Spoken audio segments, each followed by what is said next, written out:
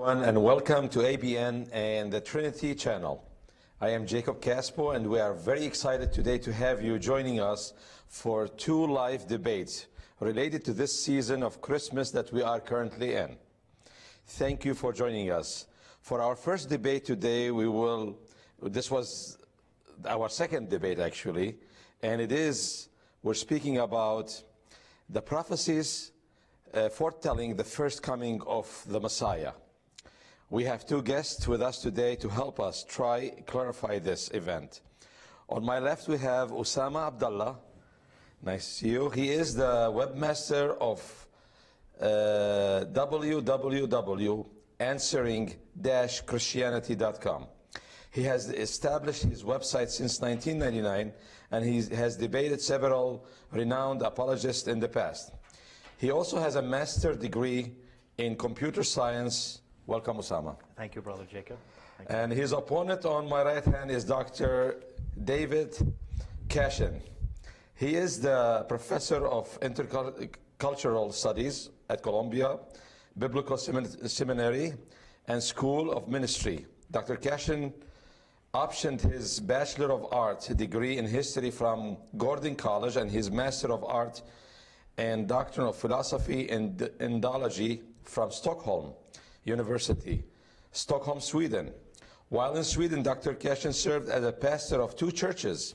He wrote and taught courses and seminars in Islamic history, theology, and Muslim-Christian relationship.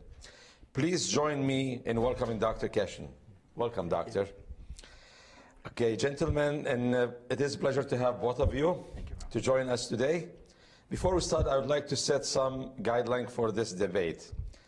We want to make sure each debate, debater has an equal amount of time to state their cases, provided to the evidence to help the evidence to help discuss this subject.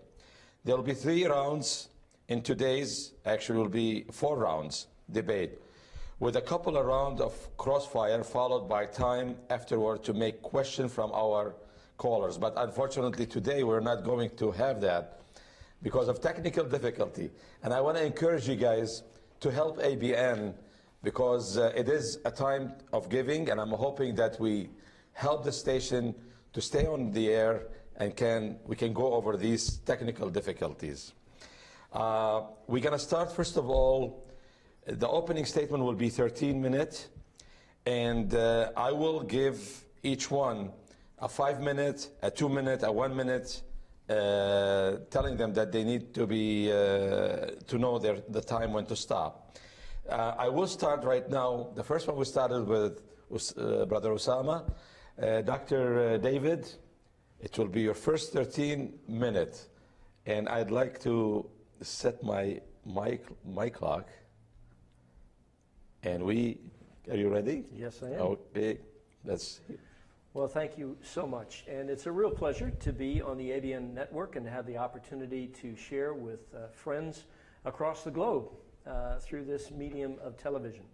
Uh, today, our uh, topic for debate is the prophecies in the Old Testament concerning the coming of Messiah Jesus. And it's really a pleasure to talk on that subject with you and also with my good friend, Mr. Osama Abdallah. We're just delighted to have this time uh, with you. Uh, I also have a website that I recommend, and I'd like to at least mention that right at the start. It's called answeringislam.com, uh, and you will hear many arguments uh, from my good friend, uh, which will be found also at his website. And you can also go to the website answeringislam.com and hear counter arguments to that as you seek out the truth. And my desire is that you will find the truth, for as Jesus said, the truth will set you free. Our topic, again, is prophecies in the Old Testament. So let me begin, and I'm going to be spending most of my discussion in the scriptures, what the Bible says uh, about the coming of Jesus. So we'll be almost exclusively in the Old Testament, but from time to time I may uh, note some of the ways in which these prophecies were fulfilled in the New Testament. Let me begin with the book of Micah, uh, chapter 5 and verse 2. Uh, you know that amongst the Jewish people, there has been throughout their history a tremendous expectation and desire and longing for Messiah. Why do they long for this? Well, Allah has given them the law. They have the law, the Torah, full of different laws on how to be pleasing to God. But every Jew, as well as every Christian, and I think every Muslim, would confess that they are unable to keep the law. Uh, law is not bad, it's good. It tells us about the holiness and righteousness of God, but law cannot save us. And so, throughout the Bible, there is this longing expressed for the coming of Messiah. Sometimes it's kind of implicit in the text, sometimes it's explicit. But the Old Testament text gives us many signs for who this Savior would be who would lead his people through the self in order that they might become forever children of God in intimacy and relationship with God. So, for instance, uh, the scriptures tell us the place of Jesus' birth. Uh, in the uh, book of uh, Micah, chapter 5 and verse 2, we find the following statement But you, Bethlehem Ephrathah, though you are small among the clans of Judah, out of you will come for me one who will be ruler over Israel, whose origins are from of old, from ancient times. Now, I'm sure my friend uh, uh, Mr. Osama will uh, mention about, well, origins. Does Jesus have an origin? Well, that must mean he's not God. Uh, or he might say something about this that, uh, you know, uh, this is just someone who's a ruler. Well, keep in mind that the Bible has hundreds of these kind of prophecies, more than 700. So I'm not going to have time to cover all of those or even the 42 that have to do with his death and resurrection. I'm just going to be selecting certain parts. And the way you understand this is by looking at the totality of all of these stories and what they indicate. So, what this tells us is that Messiah, who is coming to save his people, and his people is defined as a much broader topic than just the Jewish people. This is for the Gentiles, this is for all nations. And that this person would be born in Bethlehem. And of course, we know that this was fulfilled in the person of Jesus Christ, who was born in Bethlehem. If we then turn to the book of Isaiah and go into chapter 7, uh, verse 14, we find this uh, powerful statement, and we actually covered this earlier on our debate on the virgin birth. Therefore, the Lord Himself will give you a sign. The virgin will be with child and will give birth to a son, and will call him Emmanuel and you know, in the New Testament, when it talks about that, of course, Emmanuel is a Hebrew word which a Greek wouldn't understand. So the writer of the gospel translates that. And he says in Greek, he explains this this means God with us. So Messiah is born in Bethlehem, and he is not merely a human figure, he is, in some sense, God with us, redeeming us and bringing us back into relationship with himself. In the same book of Isaiah, and by the way, the entire scroll of Isaiah is available from 200 BC. Amongst the Dead Sea Scrolls in uh, Israel was discovered a complete roll of Isaiah dating from 200 BC. So all of these prophecies we have in hand from a document, the oldest of which copy actually lists all these things about Jesus 200 years before his birth. And we know the book was written far earlier than that, around 700 BC. But what does chapter 9 tell us? In verse 1, it talks about that this will be a way that God will honor Galilee of the Gentiles, meaning this is how God is going to redeem all peoples, not just the Jews, but all who take faith in Messiah. And then coming to verse 6, we find the following powerful statement for to us a child is born, to us a son is given, this same Emmanuel that we saw previously. And the government will be on his shoulders, and he will be called Wonderful Counselor, Mighty God. Mighty God? Yes, Mighty God. Everlasting Father. Is Jesus the Father? No, wait a minute. Weren't we told that Father, different thing, Jesus is submitted to the Father? But you see, God is one. And in that sense, I agree with my Muslim friends. God is one, but He is also everlasting Father, Prince of Peace. Because you see, Sharia cannot give us peace. Sharia can only condemn us because we fall short. Only the Savior, the Messiah, can give you peace. There are many other passages. We could talk about the coming of Jesus, uh, riding on a donkey, humble, going into the kingdom. Part of the reality of being the Son of God is to demonstrate humility. Now, does God demonstrate humility? Well, yes, in the person of Jesus Christ, he comes as a servant to set us an example. But most of the remaining prophecies we're going to look at have to do really with the final week of Jesus' life, have to do with his suffering on our behalf. If we go to the book of Isaiah, chapter 7 and verse 14, we read the following powerful, oh, excuse me, I'm, I'm, in the wrong place, I hopped up.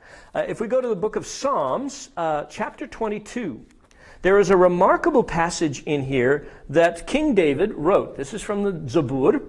And King David is writing about a situation that seems to be describing himself. And yet we know that King David never experienced this. This was not something that ever happened to him. But in verses 16 through 18, this is what he said Dogs have surrounded me, a band of evil men has encircled me. They have pierced, or if you want, wounded, uh, the word that you wanted to translate that as uh, earlier. They have pierced my hands and my feet. I can count all my bones. People stare and gloat over me. Now, this is a very vague kind of an allusion, five minutes, to the crucifixion. Uh, crucifixion didn't exist at this point in history, even though the Quran says that it was existing from the time of Pharaoh, but yet it didn't, and that's why it's de- described very obliquely here, because it was the Romans, not Pharaoh, who invented crucifixion. And he goes on then to describe what happens to him. Uh, they divided my garments among them and cast lots for my clothing. And this is exactly what the Roman soldiers did with Jesus after they had crucified him. If you go on to Isaiah chapter 53, we find an even more powerful description of the prophecies concerning Jesus. And in this passage, it talks about Jesus' accomplishments on the cross, where he says, he took up our infirmities and carried our sorrows. He was smitten, stricken by God, and afflicted, but he was pierced for our transgressions. He was crushed for our iniquities. The punishment that brought us peace was upon him, and by his wounds we are healed. Jesus is the sacrificial lamb for our sins. Jesus is the healer. And even the Quran affirms Jesus is the great healer who raises the dead, heals the sick, gives sight to the blind. And most importantly, from Isaiah, we understand he is the one who redeems us. Just a final thought. In Daniel chapter 7, we get a picture of the second coming of Christ. We've talked about how the prophecies of his first coming are fulfilled, but here is a prophecy that has not been fulfilled yet. In chapter 7 of Daniel, verses 13 and 14, we read this about Jesus. In my vision at night I looked, and there before me was one like a son of man, coming with the clouds of heaven. He approached the Ancient of Days and was led into his presence. He was given authority, glory, and sovereign power. Given is an aspect of humility. Doesn't mean that God can take it away from him. Jesus said, All power and authority is given to me. Therefore go, meaning our going is eternal. We are never losing that commission from Jesus. Therefore, it is an eternal commission, not one taken away. All peoples, nations, and men of every language worshiped him. They worshiped Jesus. They worshiped this Son of Man. His dominion is an everlasting dominion that will not pass away. It's not an authority that God will take away from him. He has it eternally. His kingdom is one that will never be destroyed. And the book of Revelation gives us a picture of the fulfillment of that reality. Jesus is coming back. When he does, he will establish his kingdom, and his kingdom will never end. And that will be a kingdom of peace. Of his kingdom and of its peace, there will be no end. And so that's our invitation to every person, whether Muslim or Hindu or Buddhist or nominal Christian who just has the name of Christian but doesn't know Jesus Christ. The invitation through these prophecies is that God has demonstrated through documents hundreds of years before the time of Christ. He has predicted everything that would happen of significance, particularly the final week of Jesus' life and his suffering and his atonement and his sacrifice on our behalf. And then the scripture goes on to point out he is the one raised from the dead, he is the one coming again, he is the one before whom every knee shall bow and every tongue confess that he is Lord to the glory of God the Father. Again, God the Father, Jesus, which one is it? They are a trinity in eternal relationship. And in that relationship, you, my friend, created in the image of God, are invited to enter into that relationship with God. That is the message of the Bible. That is the message of God's mission in the Bible, which from Genesis 3 to Revelation 22 is his message to bring you back into right relationship with himself. Thank you. Thank you. Thank you. Uh, we are going to hear also the opening statement, Brother Osama, uh, and you're going to get 13 minutes. Sure. So, uh, starting now? Sure. All right. Thank you very much, uh, Brother Jacob. Thank you very much, Dr. David, uh, for your presentation. And thank you, ABN uh, Trinity, for having me today. It's a pleasure and an honor to be here. Um, in regards to Prophet Jesus, peace and blessings be upon him, uh, first of all, we have, you have to, we have to uh, know that uh, you're not debating an atheist or a Jew. Um, I don't believe Jesus is a bastard whose mother had a sex with a Roman soldier and had him. We believe in the virgin birth. We believe uh, he was prophesied in the, Old in the Old Scriptures. And yes, we believe he's God's Messiah and the last prophet and messenger to the people of Israel. Um, however, he is not the creator of the universe. Um, and also, many of the so called prophecies about Christ in the Old Testament are actually about Muhammad, because the, the prophecies were made about two people, not just one. And I'll get to those. Uh, but first, uh, it's important to know that Jesus uh, in the Old Testament is called servant. And the Hebrew word is abd, as my last name, Osama Abdallah, slave of Allah. It means slave. And it's the same, same exact word used for slaves of the Jews that Jews could buy and sell and inherit and pass down as inheritance and will them to other people, etc. You find that in Exodus chapter 21 and Leviticus chapter 25 and Exodus uh, uh, chapter 1 again and, uh, and many other uh, books about slaves. So Jesus is God's abd, slave. He's subject to God. He's God's subject. Uh, also in um, uh, book of Acts, chapter 2, verse 36, God has made him master and Christ. God made him master and Christ. Um, also, Jesus, when he was asked about the hour uh, in Matthew chapter 24, verse 36, when the judgment day will come, he said, I don't know when the day of judgment will come. No one knows when the day of judgment will come. Only God alone knows. So if he's my creator, he has lied right there because he should have. I mean, he does know after all. He's God, right? But no, he doesn't know because he's not a creator. He, he's a creation. Um, in Isaiah chapter, uh, chapter 9, verse 6, uh, Jesus called Mighty God, uh, Wonderful Counselor, Prince of Peace. Mighty uh, Eternal Father. Eternal Father means rabbi, by the way, uh, because Jesus is the highest uh, rabbi and priest. Jewish priests are called Father. This is where you get Catholics, Roman Catholics call their priest father. Um, and so Jesus is the, the grandfather, if you will, of the Jews, the grand priest, rabbi. As to mighty God, this is a godly name. It doesn't, I don't know what it's supposed to prove here because everyone in the Bible is called, every believer is called God. You are all gods and you are all sons of God. That's Jesus told the is the followers in the New Testament and also in Psalm chapter 83, it says that as well. You are all gods and you're all sons of God. You can go to www.answering-christianity.com slash God title, one word, dot .htm.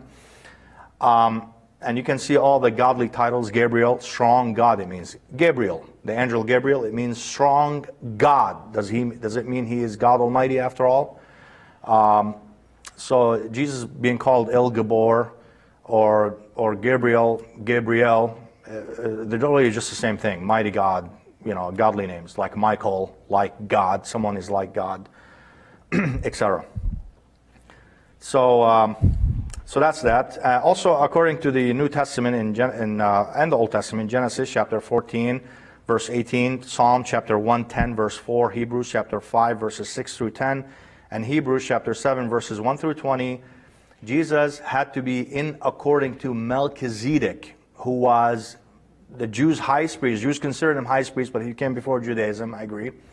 Uh, who had no father and no mother and no beginning and no end. The Bible says this no beginning and no end.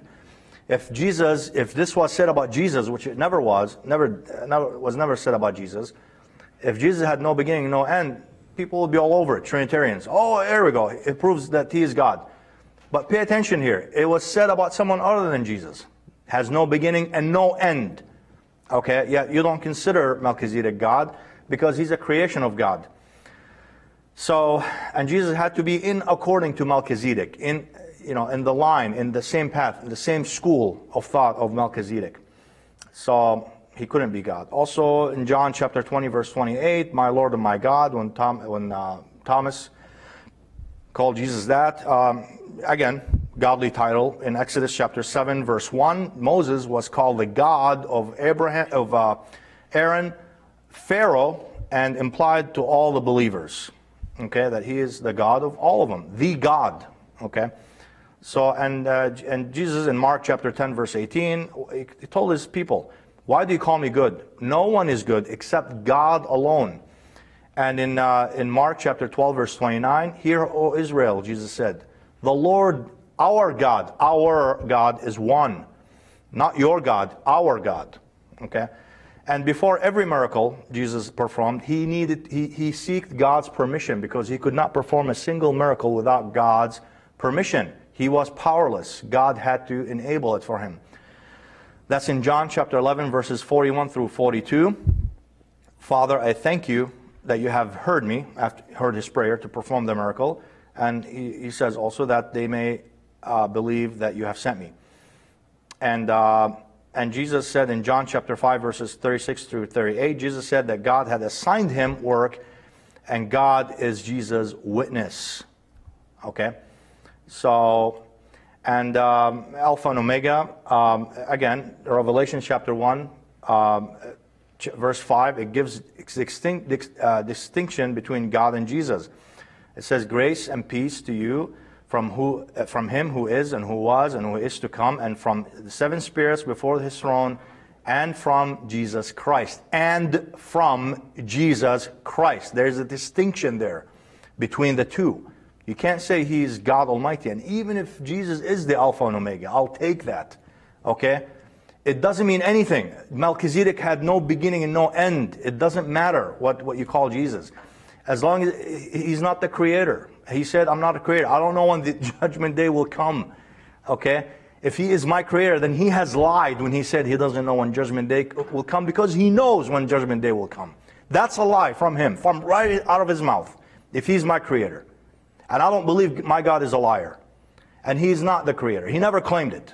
You always have to imply that and conclude that. You have to insert it into the text through implying it. The text doesn't say it. Um, John chapter 20, verse 17, Jesus said, My God and your God. And um, also, Jesus didn't know um, the unseen. Like he asked, Was this your idea? in John chapter 18, verse 34. I thought he's his creator, right? Why is he asking, was this your idea? He should know, right? He's, he's the God. And Mark chapter 9, verse 21, how long has this been like? And Luke chapter 8, verse 45, who touched me? You know, he was asking who, which of the people touched him. Well, you should know, right? You're God. Five minutes. and he should, he should have told me there's only five minutes left. uh, John chapter um, 8, verse 58, I am, you know, before Abraham was, I am. No, it, I, I use three Greek English dictionaries, answering-christianity.com slash I am, I am iam.htm.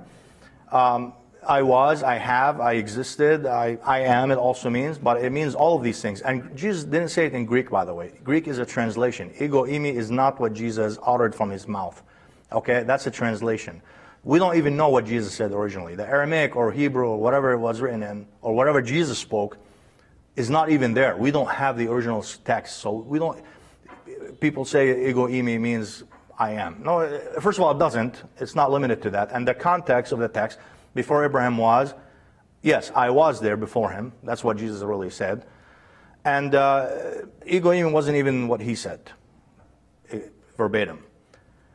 So that's that. And um, Jesus in chapter 8, verse 28, I, I do nothing of myself.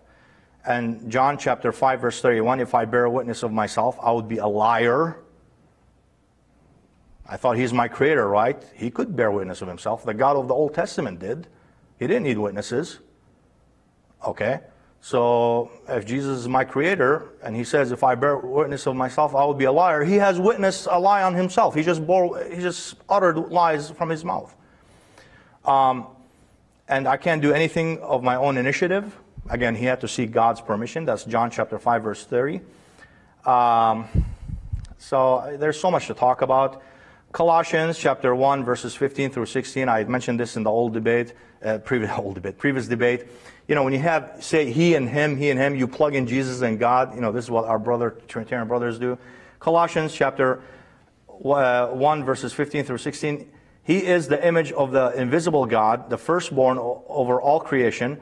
For by him, God, not Jesus, all things were created. Trinitarians say it's, it's Jesus.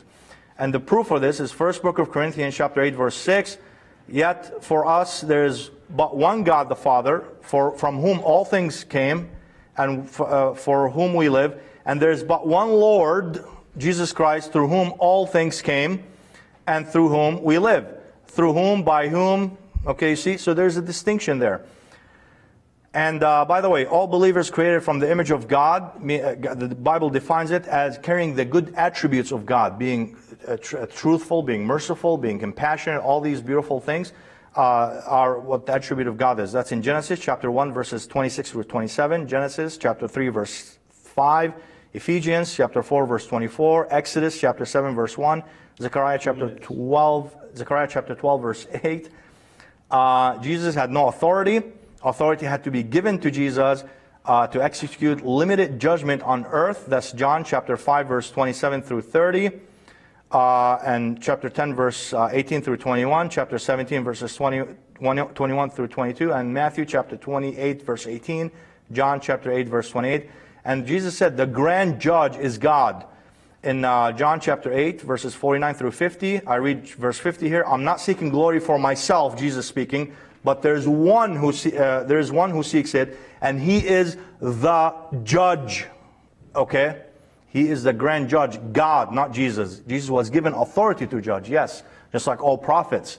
That's how they pass judgments, is that's how they pass the laws. But God is the ultimate judge. Um, uh, uh, and we are, all believers are the heirs of God, and Jesus, the heir of God, uh, but all believers as well.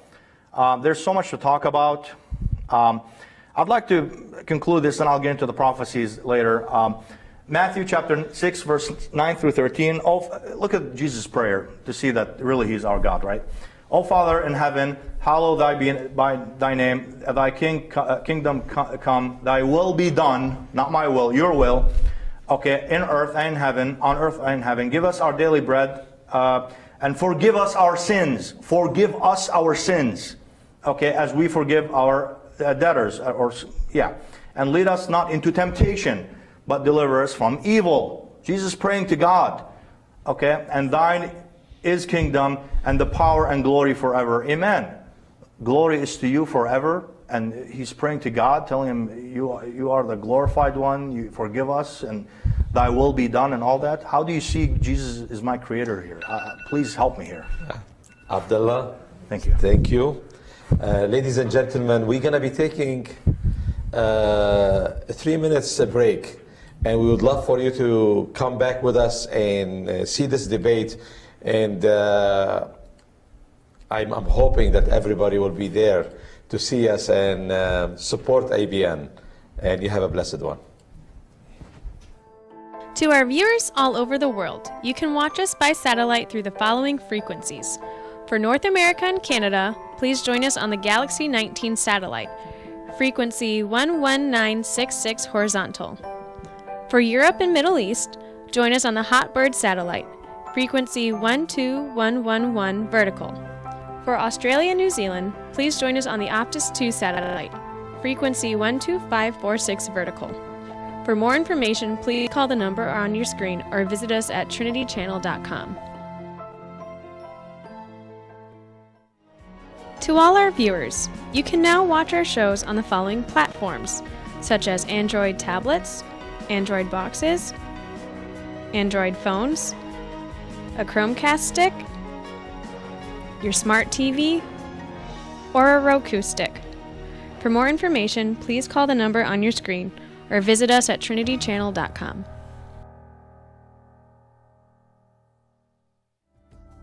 You can now watch ABN in the Trinity Channel on your iPhone and iPad. Search for ABN Sat in the App Store. You can watch all the following channels the Arabic Channel, the English Trinity Channel, the Worship Channel, the Surith Channel, the Kurdish Channel, the Al Qudus Channel, the Prayer Channel, and a special channel for Europe and the Middle East. For more information, please call the number on your screen or visit us at trinitychannel.com. Watch ABN on your TV.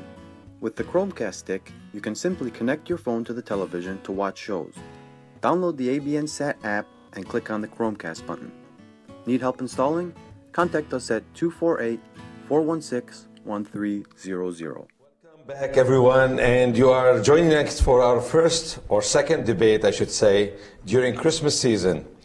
Today we are discussing the prophecies and foretelling of the first coming of the Messiah. Taking the affirmative position is Dr. David Cashin, professor of intercultural studies at Columbia Biblical Seminary, and his opponent is Osama Abdallah, webmaster of answering-christianity.com. Now we all will continue into our second round of the debate, which consists with each debate having 10 minutes rebuttal and then an 8-minute crossfire. I will be providing warning at 5 minutes, at 2 minutes and 1 minute. And we're going to start Dr. Cashin. I'm going to get my uh, clock ready here. And we said 10 minutes. So starting Yes. now. Well, we've been having a lot of fun in this debate on prophecies in the Bible, and I've been very impressed with, with my Muslim friend, uh, Mr. Osama. Uh, he's been quoting the Bible like crazy, so I thought maybe it's time for me to have a little fun with the Quran um, and to say, Are Muslims Trinitarian? Well, I had a Muslim friend in Bangladesh who actually was Trinitarian. He wrote a book entitled Tritopak Allah Shotto, which means the Trinity, the truth of God. He was a Trinitarian Muslim. And uh, in his studies of the Quran, he had found Kalimatullah, Word of God. He had found Ru- Ru'ullah, that is the Spirit of God, and of course Allah Himself. And he'd come to the conclusion that the only way you could have relationship with God was by having uh, Trinity. In other words, God who is relational in His own character and person.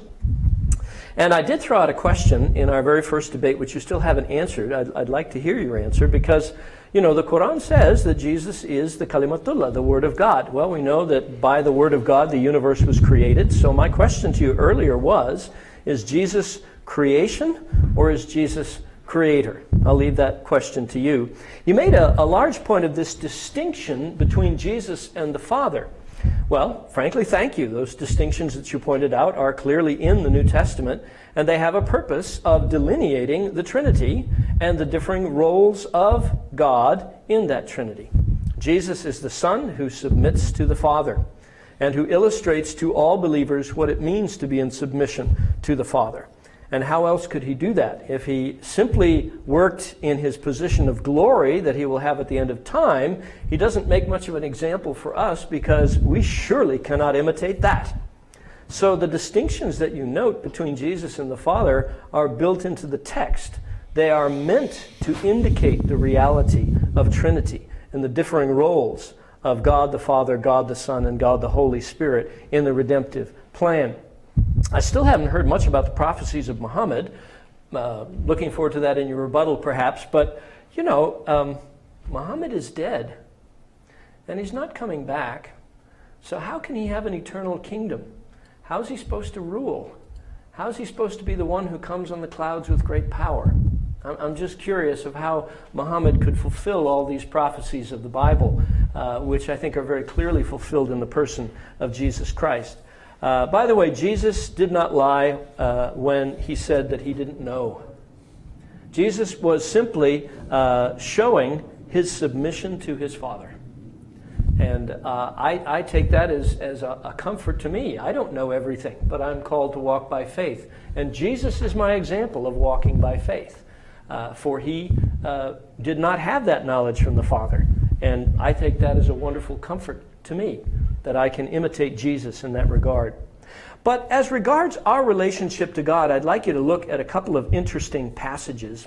Uh, since we're quoting the Bible a lot, let's take a look at Romans uh, chapter uh, 8 and verses 14 to 16. Uh, this is really a fascinating part of the Bible that talks about what God accomplished in Christ in redeeming us to himself. And in Romans 8, uh, Paul talks about our nature uh, and, and the kind of relationship that we have with God. And, and this is something that's so beautiful because I see so many of my Muslim friends filled with fear. In fact, the imam at the masjid we, invi- uh, uh, invest, or we uh, visited yesterday, he said over and over again, we as Muslims, we live in fear. We live in fear. Yes, of course you live in fear. Coercive violence inspires fear. And if Allah is merely coercing you to go and obey Him because of the threat of the fires of hell, then yes, you live in continual fear. But when Jesus was resurrected, He said something very different to His disciples. He said to them, Peace be with you.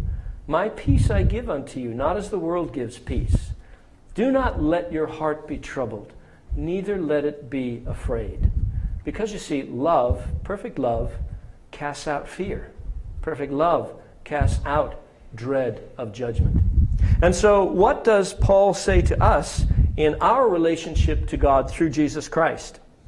He says, For you did not receive a spirit that makes you a slave again to fear, but you received the spirit of sonship. And by him, that is Christ, we cry, Abba, Father. The Spirit Himself testifies with our spirit that we are God's children. Now, Five I know minutes. as a Muslim, you can never call yourself a child of God. That would be blasphemy. But a Christian knows the assurance of salvation and the adoption that we have through the sacrifice of Christ on the cross. Um, Again, you use many interpretations from the texts as, as you go through them. Uh, well, this is really about Jesus. This is about the Father. Uh, oh, this text really, it doesn't mean this, but it means something else. And I, I feel like I'm listening to a person who can't see the forest for the trees. He's looking at each individual tree and he's trying to pluck off a, a flower or a branch or a leaf that he said, oh, it means this, and oh, it means that. And he's not seeing hundreds upon hundreds, indeed thousands of passages, a great forest that all points to the same reality. Jesus is the Son of God, He is the Redeemer, and through His sacrifice we come into eternal relationship with God as sons and daughters of God. This is the prophecy of the Old Testament. It's the promise of the Old Testament. And we as Christians live upon that promise. Our salvation is not dependent upon our perfect obedience to Sharia. For the law cannot save, it can only show us our sin. So, what do we need? We need a Savior. And we need relationship. And my Muslim friend in Bangladesh who wrote Trito Pakalar Shoto, the Trinity, the truth of God, he expressed that longing of the human spirit that says, I want to know God. I want to experience God. I want a relationship with God. And in fact, that's why we were made. By the way, uh, this is an interesting point from Islamic law. I've been looking for this for years, and finally I found it. What I found was in Al Bukhari, there is actually a passage, only one, anywhere in the Hadith, where it says that humankind is made in the image of God. And I said, Alhamdulillah, it's there. It's in their passage. And I thought it was gone. It's actually true that I, I think probably that our, our good friend had picked up some of the ideas of Judaism and Christianity, and unknowingly, he got them into his hadith, not knowing what Orthodox Islam would later come to say. Because really, in that passage, he's reflecting back on Genesis 1 that we are made in the image of God, made for eternal relationship with God. Why are we like him? So that we may know him.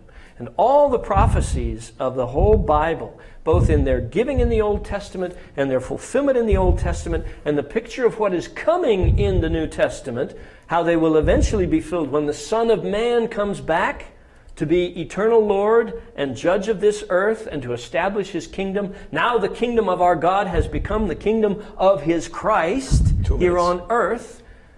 That is our hope. That is our future.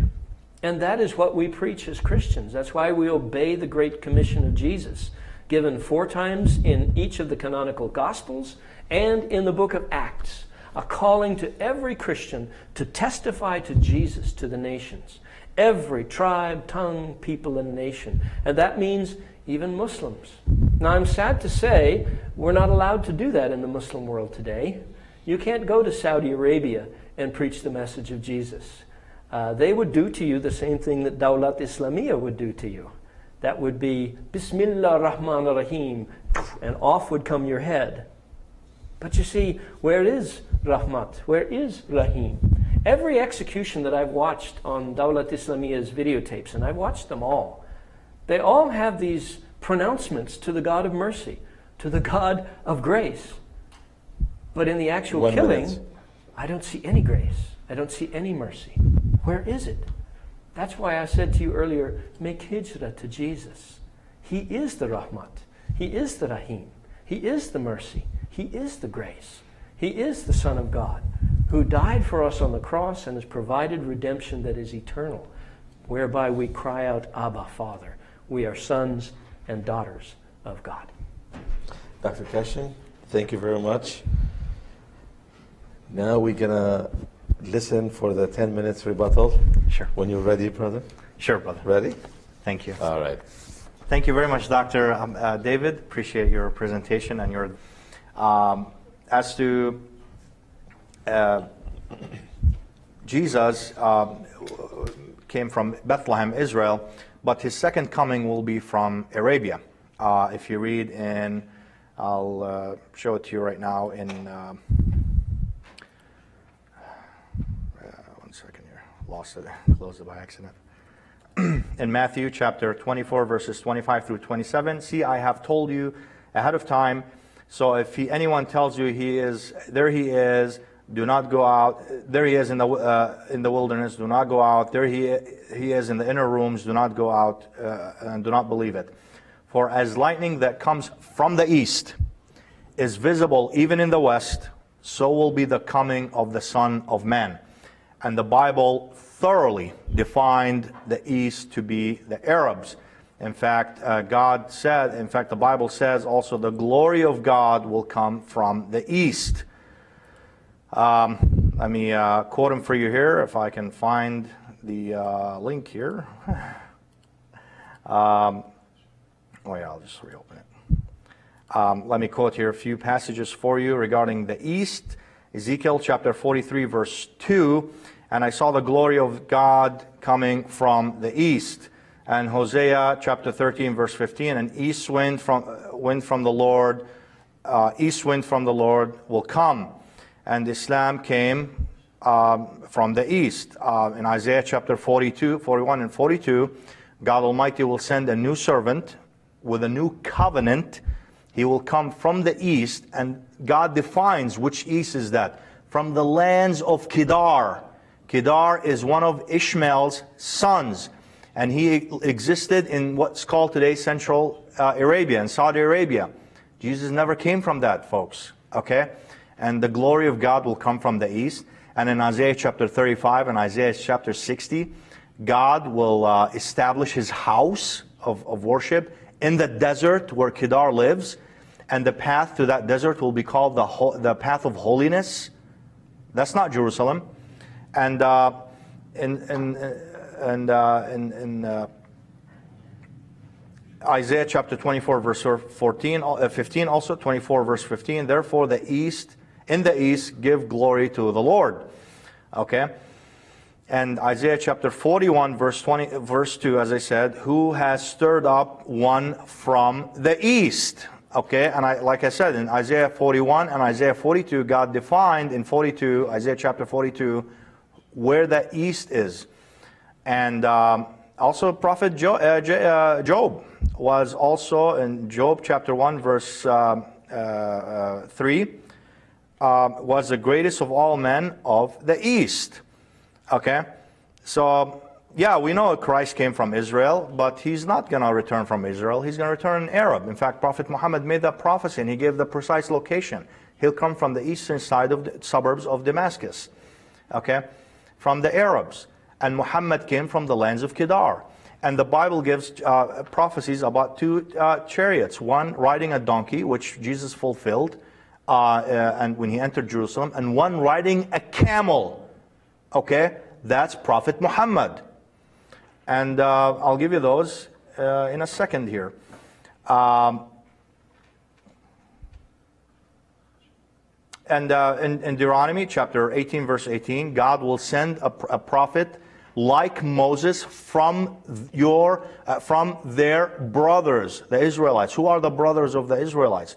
The Ishmaelites. Who's the brother of Isaac?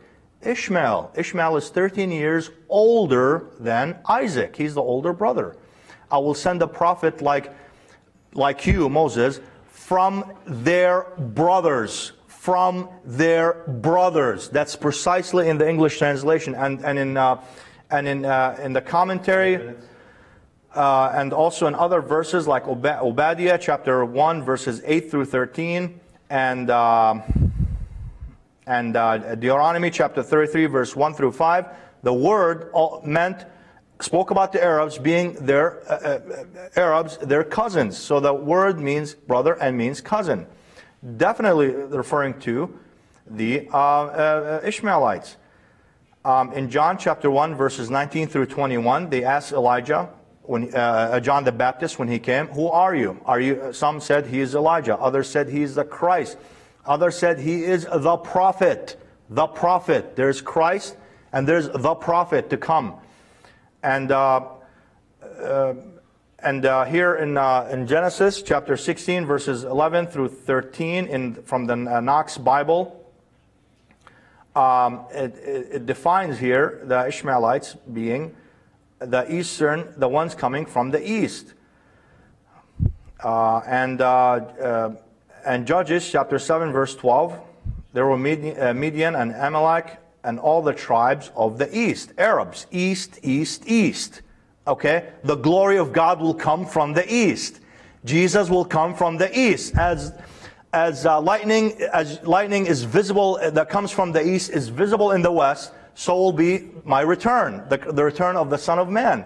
He's not going to come from Palestine or Jerusalem or, or Israel. I'm Palestinian. We call it Palestine. It was called Philistine before the Exodus. He'll come from uh, Arabia.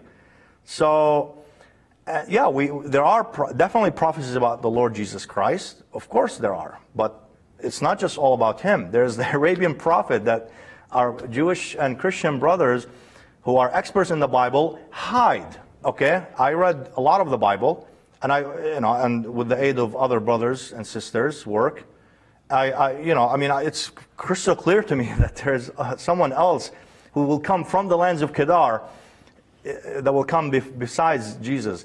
And that's Muhammad, folks. That's Muhammad. The house of God will be established in the desert of Kedar. Isaiah chapter uh, 30, uh, uh, 35 and 60. Go read them. Um,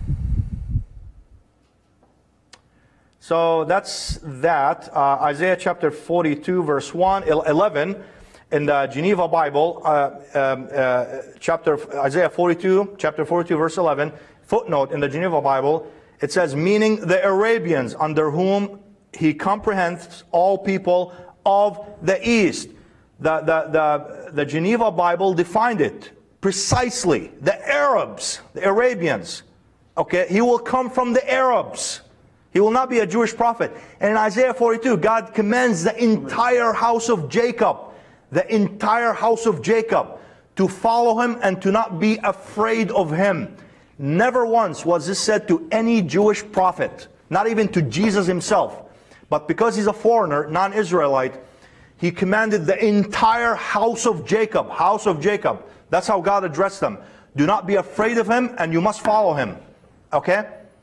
Because he's a non Israelite. He will come from the Arabians, from the east. All right? One minute? Okay. I rest my, I rest my case. Thank you. There's a lot more, but Uh, actually, we're going to have a, an eight-minute uh, rebuttal or crossfire, actually. And uh, thank you, Thank you, uh. Osama. We're going to start, Dr. Cashin. Uh, we're going to start with the two minutes. So um, Okay. if I set my, okay. All right. Um, I'm only going to make one point, and you're a great scholar. You've studied a great deal. There's something that you haven't studied, and uh, even the Geneva Bible makes this mistake. Where in the Bible does it say that Ishmael, Kedar, and Nebaioth are the fathers of the Arabs? It does not say that anywhere. And in fact, the idea that the Ishmaelites are the father of the Arabs is an invention of the first century AD, which is an interesting point because it's out of a Jewish document, a Gaza manuscript dated from about 100 AD, when the Jews were running away from the Romans after the destruction of Jerusalem. And so they went to Arabia and they were afraid of being attacked, so they invented a fictive relationship that the Jews were brothers of the Arabs through Ishmael, Kedar, and Nebaioth. But in actual fact, nowhere in, that, in the Bible is that taught. And the idea itself is what you might call Jewish apocrypha, written hundreds of years after the time of the scriptures. So you do a lot of critical study, you just don't study the right stuff. In actual fact, your whole argument is based on an invented Jewish fairy tale from the first century. And uh, look it up, study it carefully, and you'll find that there's no basis. So, east, here's a simple point. If I'm standing in Singapore, what's east of me? East, west, north, south are relative terms. What is important is who were the promises made to? Your argument about Muhammad is entirely based on Ishmael, Kedar, and Nebaioth, and these people are not the relatives of the Arabs. Thank you. And thank you, Dr. Cashin. Brother Osama, sure. You Okay. get the two minutes. Thank you, Dr. Cashin. Um, uh, Ishmael uh, went to uh, Arabia. In fact, even Paul ma- uh, referenced it in book of uh, Galatians um, when he, he talked about Hagar and went to Chapter Arabia. four. Thank you. Went to Arabia, and uh, also in um, in uh, in uh, uh, where did I put it? Oh, it's the other one. I have like a million things open here. Uh, in uh, Jeremiah chapter 51, verses uh, verse 33, uh, Arabia has not met yet its threshold, and the time of her harvest shall come. Shall come. The time of Arabia's harvest shall come. And there's another verse in the Bible that I can't pull out right now. It's in Isaiah. The burden shall be put upon Arabia. Okay? Burden means God's burden, God's responsibility, God's um, mission will be God's new covenant as a servant, new servant, and new covenant. One minute. Will be put upon Arabia. I'll find that verse and I'll send it to you. And again, the house of Jacob was commanded to follow them. And uh, uh, you asked me, prove that Ishmael, well, again, the lands of the east, okay? We are the eastern side of, of Israel, and the lands of Kedar are known. Uh, uh, in fact, there's a map that defines where they are. The lands of Dina, uh, Didan, uh, uh, Edomite, the Edomites, Edom, which is northern Arabia, uh, in Jordan, uh, Kedar, seconds. and uh, Timan. These are all lands that are uh, in Saudi Arabia. Um, and in fact, there are names that are still in Saudi Arabia today, and, uh, uh, and, and they are mentioned in the Bible. These are all Arabic names. Um, so, yeah, and, and also according to Islam, um, we, you know, this is where uh, the Blackstone God Almighty sent this asteroid, and NASA proved that it was an asteroid for Abraham and Ishmael to build the house of God Almighty, which the Bible says in Isaiah chapter 30 and 65 will be established in the, in the desert. Thank you, uh, Brother Osama. Dr. Cashin, you get two minutes. Time? You get two minutes. All right, thank you. Well, I really thank you because you have taken to me to the one place in the Bible that I think is a genuine prophecy of Islam. Yes, sir. Chapter 4 of Galatians is, I believe, a prophecy of Islam. But what does it say? Uh, Kedar and Nebaioth were not the fathers of the Arabs. But they represented a lifestyle that God says will not lead you to the truth. And here's what the prophecy says Tell me, you who want to be under the law, you could translate that, Sharia. Are you not aware of what the law says? For it is written that Abraham had two sons, one by the slave woman and the other by the free woman. His son by the slave woman was born in the ordinary way, but his son by the free woman was born as a result of a promise. These things may be taken figuratively. For the woman represents two covenants. One covenant is from Mount Sinai and bears children who are to be slaves. This is Hagar. Now, Hagar stands for Mount Sinai, which is actually in Sinai Peninsula, but he says in Arabia, because you know Arabia means a whole huge area. And frankly, Arabia at that point is not to the east, it's really to the west. But what does he say about Mount Sinai? One covenant is from Mount Sinai and bears children who are to be slaves. This is Hagar. Now, seconds. Hagar stands for Mount Sinai in Arabia and corresponds to the present city of Jerusalem because she is in slavery with her children. But the Jerusalem that is above is free, and she is our mother. In other words, we are children of God, not slaves, through the message of Jesus Christ, not Muhammad. You still have nine seconds. Thank you, Dr. Cashin. You get the two minutes. Uh, when when the somewhere. Canaanite woman approached Jesus and uh, asked for his blessing to cure her daughter, Jesus told her, I'm here for the lost sheep of Israel, not for their dogs. When she showed, yes, as a pagan Arab, any pagan, not just Arab, is a dog, according to Jesus, uh, to, to, to, any, uh, to any believer.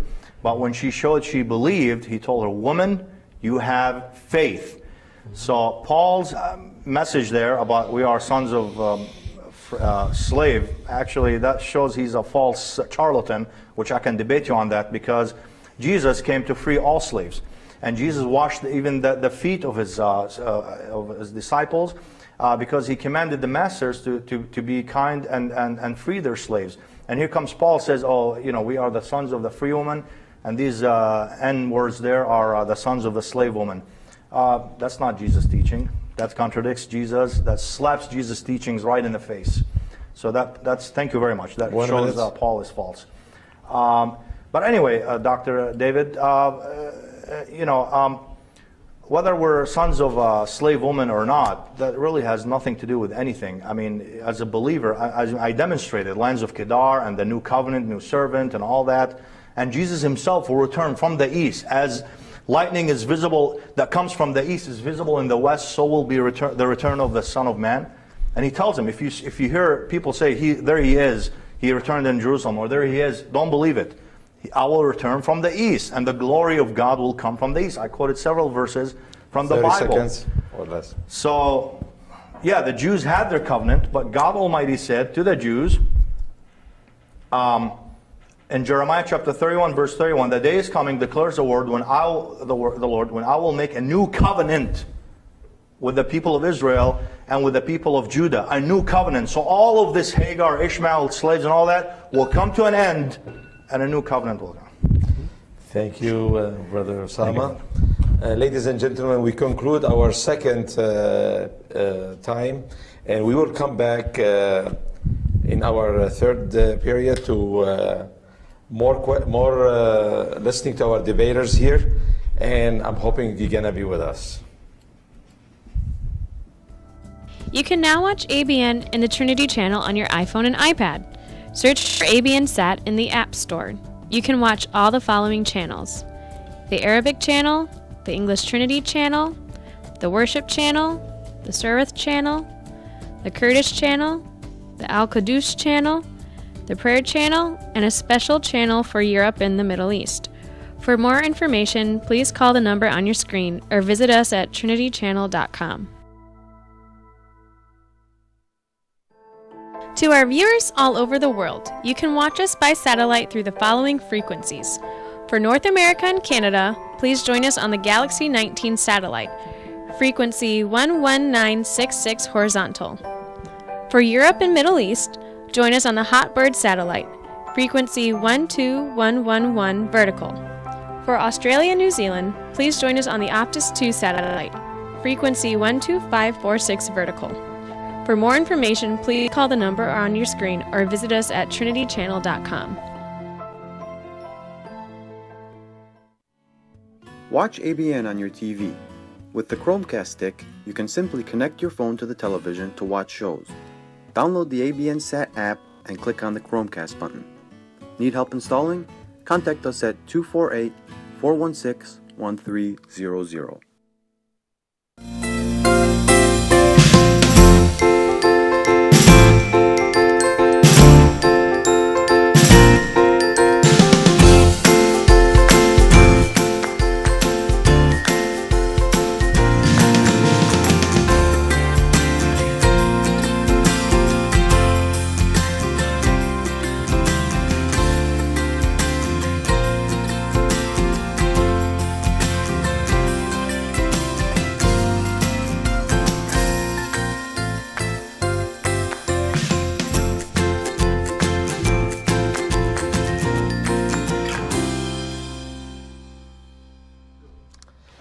Ladies and gentlemen of the ABN, uh, thank you for being with us for our debate, our second debate. And we're going to start out again. Uh, uh, we are trying to, to see uh, the point of view of Islam and Christianity when it comes to the messianic prophecies. Uh, I want to encourage everybody also to help ABN uh, at this season of giving. And I thank you very much for all the helps that you are giving. Uh, we, we're going into uh, the third round and we were going to go into an eight minute crossfire. And we started this, this debate, the second one, with Dr. Cashin. And you will be our first person to go on for the eight minutes. And if you don't mind, I'm going to set the time here. If you, are you ready for it? I'm ready. All right. Here we go. Well, I begin with a question. Um, you finished your debate, uh, Osama, by stating that Paul is false. He's wrong. He's, he's bad. Throw, throw him out. Why did you then cite him as support for your arguments earlier? How could someone who is false and wrong and totally not something to be paid attention to also be a foundation for one of your arguments? And this is part of your problem in logic, that you hop from thing to thing according to whether it fits your system. But then when something doesn't fit your system, you discount it and say, oh, this can't be anything from God. I have any problem with contradictions in my is the Word of God. And that I can trust it and in its testimony. Remember that Paul himself, in this passage from Galatians chapter 4, says that this is figurative language. Uh, he's not condemning Arabs or Gentiles or anyone else as people who are dogs. Uh, although I would argue that Jesus has the right to challenge people, and that's what he did with the Syrophoenician woman. And that is really what elicited her response of faith, which is why he accepted that. And that doesn't mean that he's not concerned about the nations, because his great commandment to us was to take the good news of his sacrifice and resurrection and coming kingdom and to preach that in all the world as a witness to every nation, and then the end will come. But since Paul is speaking figuratively here, he's saying that there are two separate covenants that human beings follow. And the whole earth could be defined in this way. Not just Muslims, but Hindus, Buddhists, uh, followers of communism, uh, atheists, all of them have their systems of rules and regulations by which they say if we could just do this, then we would have paradise on earth. You know, the communists used to say that. We're establishing the classless society. And what does Dawlat Islamiyah say? We are establishing the kingdom of God on earth. We are using the Manhaj al Nabuwah, okay, the methodology of the prophet to establish the perfect kingdom of God on earth. All the rules and regulations, the law of Hinduism, the law of Buddhism, everyone tells us how we ought to behave. All the things that we ought to do to make a good society.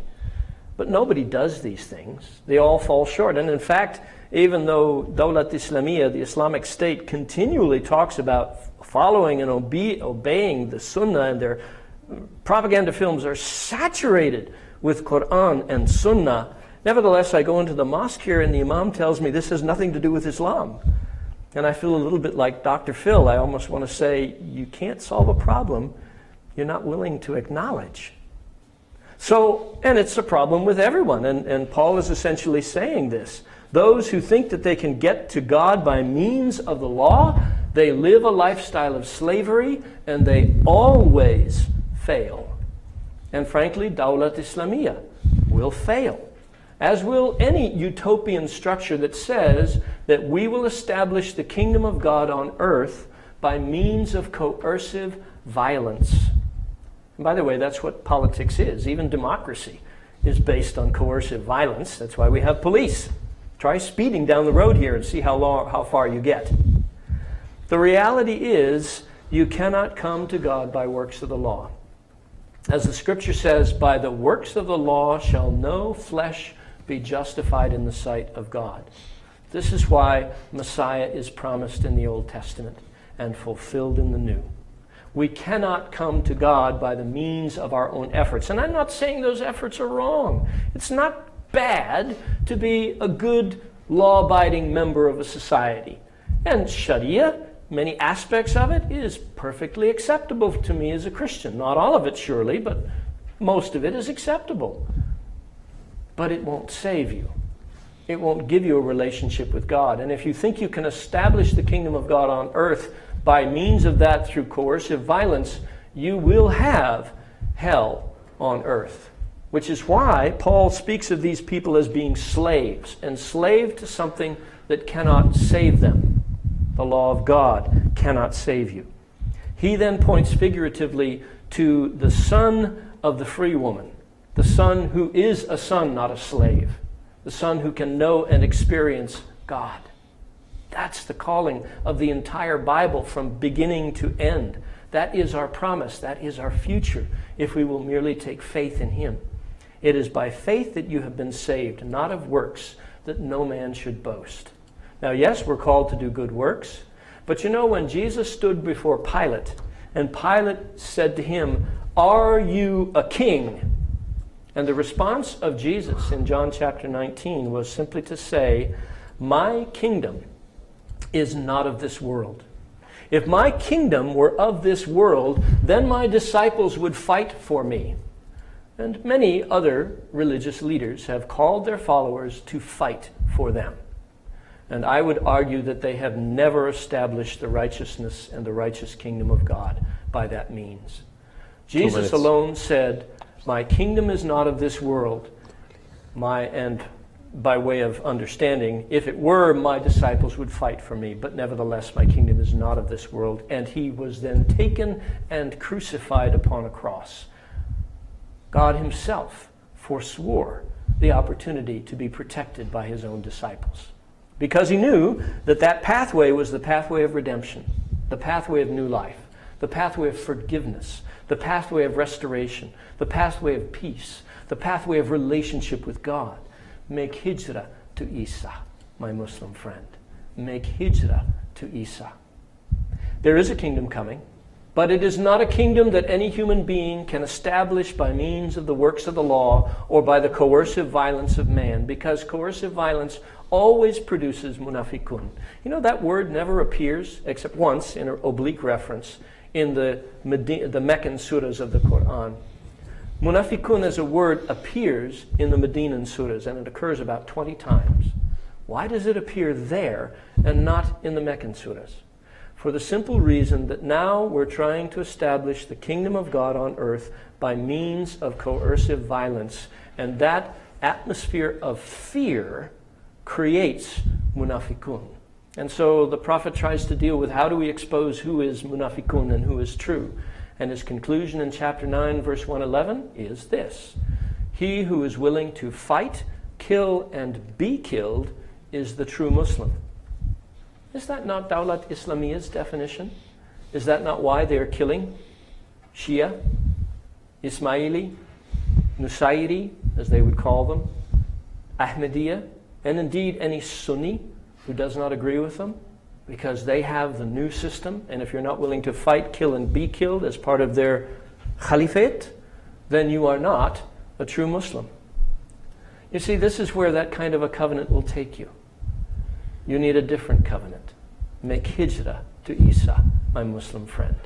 Make hijrah to Isa. Dr. Cashin, thank you. And we're going to have eight minutes of rebuttal from Salman. Eight minutes? Okay. Eight minutes, yes. Thank you, Dr. Cashin. Um, uh, let me respond. Uh, Regarding ISIS, uh, okay, please quote me one verse, one verse from the Holy Quran or the Hadith that permit for the Muslim to kill any civilian. Okay? In the Holy Quran, you read commands from Allah Almighty that command the Muslim to take care of and to feed the captive and the needy and all the people.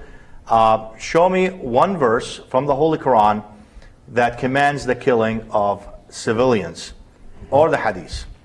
Um, if you go to um, www.answering hyphen or dash christianity.com slash ac12.htm, you'll find verse after verse uh, from the Bible, kill all the children, rip the pregnant woman's tummies open, uh, dash the children uh, uh heads against rocks, uh, burn all plants, kill all animals, uh, take all the virgins for yourselves, kill all non-virgins, okay?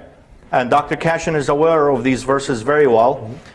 you can visit, you can read Deuteronomy chapter 20, verse 16, Deuteronomy chapter 2, verses uh, 20, 32, verse 37, First book of Samuel, chapter 15, verses 2 through 4, Psalm chapter 137, verses 8 through 9, Numbers chapter 31, verse 17 through 18, Hosea chapter 13, verse 16, and so many others. Again, go to www.answering-christianity.com slash AC number 12.htm and go see them for yourself. Um, ISIS does not represent Islam. You know, they kill indiscriminately everyone.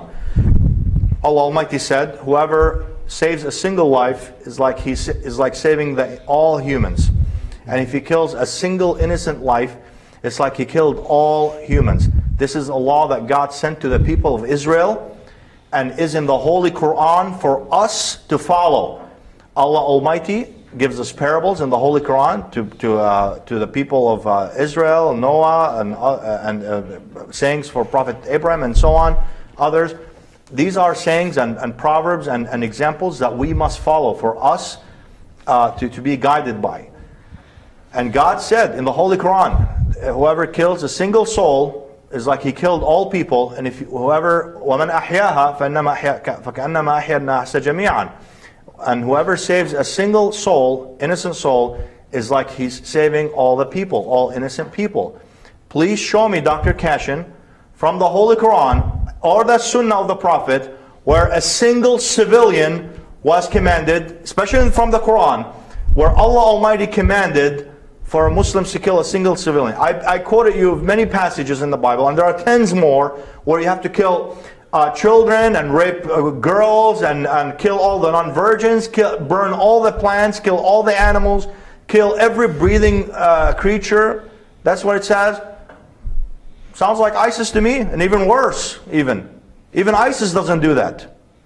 Okay? So, uh, and uh, by the way, when Jesus Christ returns, peace and blessings be upon him, will he not put the entire earth to the sword? Will he not declare a world, a global war against all evil on earth? So what is that supposed to mean? Um, and ISIS, by the way, all their weapons are 100% American made. They've been fighting for four years now. Have they not? They, they never ran. They haven't ran out of ammunition yet. Okay, they they they uh, they magically uh, took over a few Iraqi military camps, right, and took all their weapons. All that supply last, is lasting till now. They never ran out of bullets and ammunition. No. The US and Israel are backing them 100%. All of their weapons are 100% American made. Not even French or British or any or Russian or 100% American. America, just like Al Qaeda in Afghanistan, that who created Al Qaeda, America, the CIA, and funded them. Al America created also in Israel ISIS. All right? It's time for all people to understand this. And all their weapons are 100% American made. And all their ammunitions are supplied by America. In fact, uh, there's a guy from Texas. He had a logo, a company logo on his truck. I don't know if you guys uh, uh, saw it. They put it on, on CNN. It was so ludicrous. He found his truck in Iraq. The company logo. They did not even remove the logo. How the hell did that truck, ma- uh, SUV, made it from, from Texas to Iraq, to ISIS? How? Go Google it. So, uh, you know, ISIS, ISIS, Dawlatul Islamiyah, all this is baloney. This is all American garbage and Israeli garbage.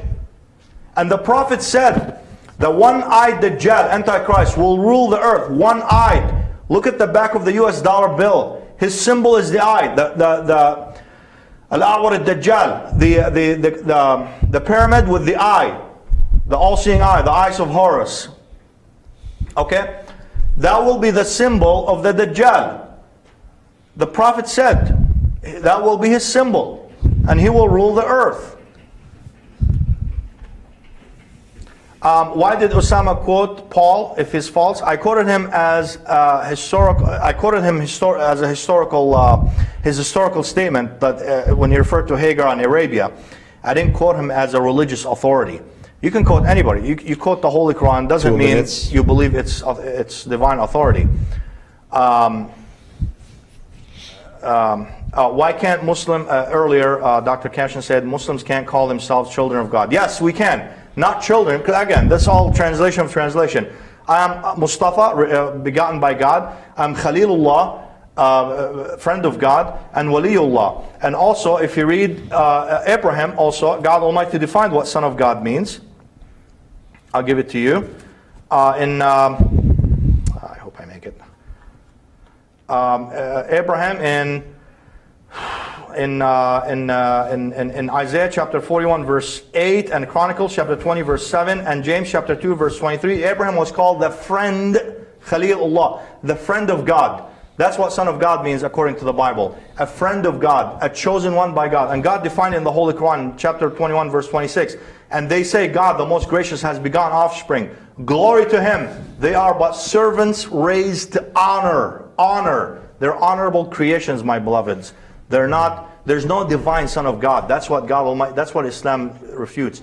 There are sons of God, Ahlullah, especially in heaven where, where we directly talk to God Almighty. Ahlullah, people of God. But no one is the divine son of God, divine son of God, sharing God's glory and power.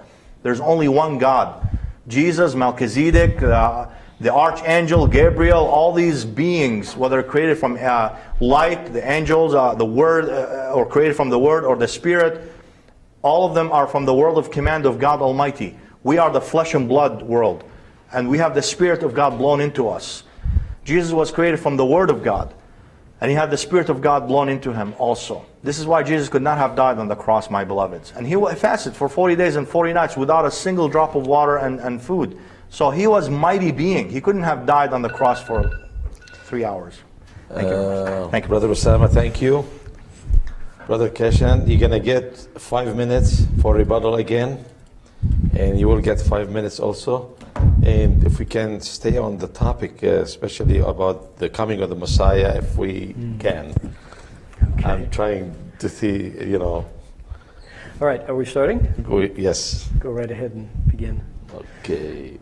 Well, we, we got a little bit off track when we started talking about Messiah who brings a kingdom that is not of this world. Yeah. Uh, and that's why we got into this discussion of can we establish the political kingdom of God on earth by means of coercive violence.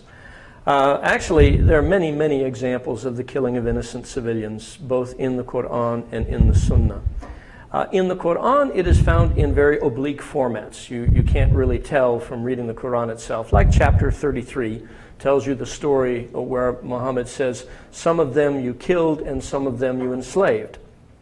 This is a reference, according to Ibn Kathir, to the Jews of Banu Qurayza, who Muhammad uh, uh, argued that some of their leaders uh, had uh, rebelled or were in, in the process of fomenting some kind of conspiracy against him.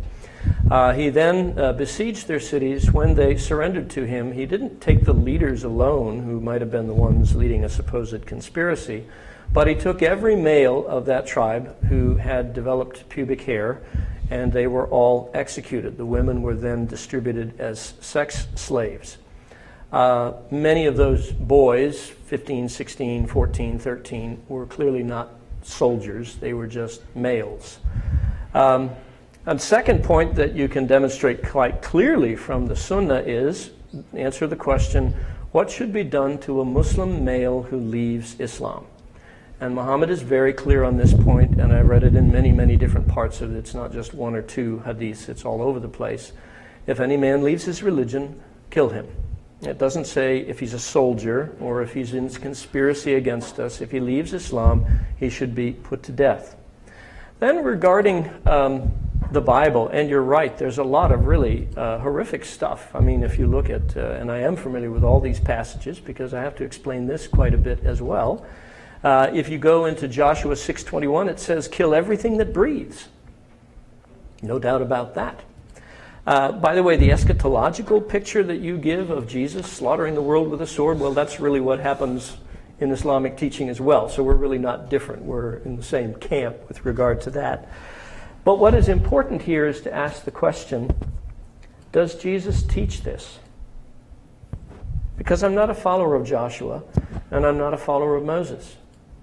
And I do not believe that those things are things that anyone should obey or follow today. And I can say that bluntly. Can you say that you will not obey the adages of chapter 33 of the Quran? Is that something that should not be obeyed today? If someone conspires against Islam, should you slaughter not only that person, but their family? Is that the proper Never response? that. That would be something for you to answer for me. But one other point that, that you've said, and I think this is a point at which uh, you kind of display your problem with logic and uh, what we would call the proper rules of um, historical critical analysis. And that is that you have, at the end here, thrown at us a whole mass of urban legends and the kind of nonsense that you can find on the internet if you're looking for people who are going to tell you what you want to hear. Uh, yes, an American truck from Texas was somehow ci- cited amongst uh, Dawlat Islamiyah, and it's the Americans and the Jews who are supplying the money because it's all a conspiracy to destroy Islam. And I've heard this stuff, I've, I've read it. Um, all of this is engaging in what we call the blame game. In other words, it can't be our problem, it has to be somebody else's problem. Uh, it's a conspiracy. It's what the filthy Jews are doing, or it's what the Americans or the British or the colonialists or the other people. And at a very deep level, Osama, One minute. you are actually imitating the Quran. There is a beautiful story where Jesus says to his disciples, Do not seek to take the speck out of your brother's eye until you've taken the log out of your own eye. I don't find this teaching anywhere in the Quran, and I find it nowhere in the Sunnah. The aspect of looking at yourself first, as Dr. Phil would put it, you cannot solve a problem that you're unwilling to acknowledge. And Islam has a problem with coercive violence.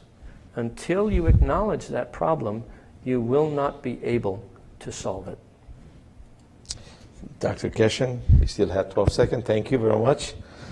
Uh, Brother Osama, are you ready for Yes. Rebuttal? brother. Two minutes? Actually, five minutes. Five minutes. Thank you, Dr. Cashin. Um, in regards to Quran, uh, Holy Quran, chapter 33, uh, there is nothing about killing uh, civilians, uh, and there's nothing vague about it. Allah Almighty said, uh, "Hatta arda al-harba. You fight the infidels until the war ends between you, until the war puts down its arms. Okay, and the Muslim is forbidden from from uh, killing any soldier drops his weapon. In fact, we are commanded to feed them for the love of Allah. God said, لحب, لحب الله. Um, also as to uh, sex slaves and all that, um, that's Allah Almighty commanded the Muslims to, uh, if, a, if, a, if a person wants, uh, uh, if a slave wants to seek his freedom, th- and that's a topic I'll be more than happy to debate, then not all, if, you fee, if you see good in them, not only you give them their freedom, you give them money from your own wealth to help them start their life. And uh, also, uh, atq raqaba and uh, um, fakr riqab, these are all in the Holy Quran. Uh, uh, you know, whenever a Muslim can, he must uh, free a slave, and as also uh, for repentance, if I make a sin or something, to uh, to pay it back you either give charity or you fast or something, or you free a slave person. These are all Islamic commands. As to slaughter their families, I, this, I guarantee you, you will never find this in any Islamic scriptures. Not in the Quran, not in anywhere, that kill them and kill their families. The Quran never said it once. In fact, the Quran, Allah Almighty said, وَلَا تَزِرُ وَزِرَةٌ وِزْرَ أُخْرَى No one, let no one uh, carry the, the burden of another. You can't punish somebody for someone else's sin. You will never find kill them and kill all their children and all their families. You find it in the Bible, you won't find it in Islam. And uh, as to uh, us being in the same camp, I mean, maybe, but the, definitely Islam prohibits prohibits the killing of civilians. And God uh, Almighty said, if you if you save one innocent life, it's like you save all the people, all the innocent people. And killing is only allowed for those who are um, uh, uh for, for for those who deserve it. Uh, now, as to uh, uh, the Jews and conspiracy and all that, this is not a conspiracy. These are facts, just like 9/11. have you seen the Pentagon bombing? They say it's a jumbo jet. It's, it looks like a drone and, and eyewitnesses. I have a, a video of an eyewitness who saw an actual small jet, he said, came down and smashed into the Pentagon. They say it's a 747 jumbo jet. It was a Predator drone painted as a civilian plane, a small plane that struck the Pentagon and blew it up. This is not a conspiracy theory. These are facts, okay? Just like ISIS, it's a fact. Okay? The Zionist conspiracy, 9 11, it's a fact. These are not uh, uh, theories. The Zionists are evil. Two minutes. If you read, uh, if you Google Albert Pike, Albert Pike, Christian Muslim War, Albert Pike, he's, he lived in the 1800s. He engineered World, War One, World Wars One and Two, and he said the final war is to have a war on a global scale between Christians and Muslims, fight each other, to allow, to enable the Zionists and the Illuminatis to rule the world. In order for us to rule the world, we must have these religionists collide on a large scale so that everyone will get sick and tired of religion and push for secular and Satanist societies. Google this. Let's stop the ignorance. Let's stop the. I'm not calling you Dr. David, uh, with all due respect to you. No, no, no. I, I swear, I'm not. Wasn't meaning you. Let's stop the ignorance, folks. Let's, let's, uh, let's at least understand what the hell is going on around us. Okay? Yes, America is funding ISIS very aggressively, and so is Israel. Otherwise, they would have ran out of bullets and, and weapons a long time ago. Otherwise, uh, uh why do you think the freedom fighters, uh, the, uh, of, of, Syrian freedom, uh, uh, Free Army, they, were, they ran out of weapons. They couldn't defeat Assad because they were sanctioned. In Gaza, Hamas, they can't fight Israel for long. They run out of weapons the Palestinians in Jenin when Ariel Sharon uh, besieged it. They fought for a few days and then they ran out of weapons. I, ISIS suddenly has infinite amount of weapons and they're all American made. Come on. I mean, are we really that dumb? Okay? With all due respect to everyone, ISIS is supported by Israel and by the US. They are funding this Satan, these, these gangs and thugs, okay? And by the way, they say 15,000 Westerners are, uh, are joined, have joined ISIS. When? Since when? Uh, uh, Palestinians have been fighting Israelis forever. And the Syrians, no one joined them. Thank you, Sama. Thank you. Uh, I'm just going to give each one of you two minutes before we take our break. Uh, we have two minutes for each, so I can start with you, Dr. Cashin. You can start. All right, thank you. Well, I would just repeat as an old gray haired professor to my precious friend be careful what you read on the internet. Uh, I think most people in America, if they thought that what you're saying about America and, and uh, our, our, president uh, would be that, that uh, you know, uh, Barack Obama is sending weaponry to ISIS, uh, they would probably go over to that despicable gentleman by the name of Trump. Uh, I think this is a, a, dream world and it's a blame game, and you need to escape from it. Uh, there, is, this is not reality. This, this is someone's ersatz creation on the internet. Uh, and I don't want to empower people like Trump, who is despicable. But if that conspiracy theory were true, Trump would be elected president. And that's one thing I really don't want. So, One minute. what are we going to say to these things? You do need to study your scriptures. Um, read Ibn Kathir in his Tafsir al Quran. Read about chapter 33.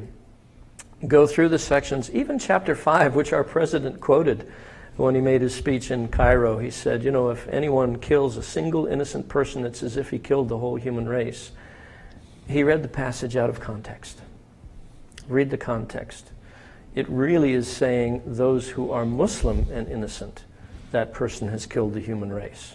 But in the very same passage, it talks about killing other people. Study it, look at it carefully, and you'll find what I'm saying is true. This is why I really believe my Muslim friends desperately need to make hijrah to Jesus. To escape from the kingdom of God on earth established by human coercive violence. It won't work. It never has. It never will. We need a God of peace who redeems us in Jesus Christ. Thank you, Dr. Cashin. Uh, Brother Osama, you get two minutes, and you can start now if you like. Thank you, Brother Cashin. Uh, the Holy Quran, folks, is very clear. I debated Dr. David Wood on this. Um, killing innocents is forbidden in the Holy Quran, um, and you're only allowed to fight those who wage war on God Almighty. And yes, I read the context, Dr. Cashin, and yes, it talks about all people. All innocent blood is forbidden. And uh, unless it be for murder, Allah Almighty said, for murder, and, you know, is just limited to uh, Muslims or non-Muslims.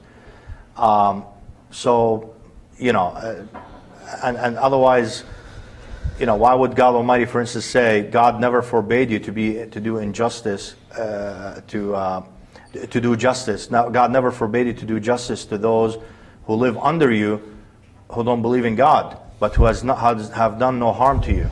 Okay, be just is closest to piety. God said that in the Holy Quran. Uh, you know, I'm, I'm paraphrasing, but God, One minute. be just, it's closest to piety.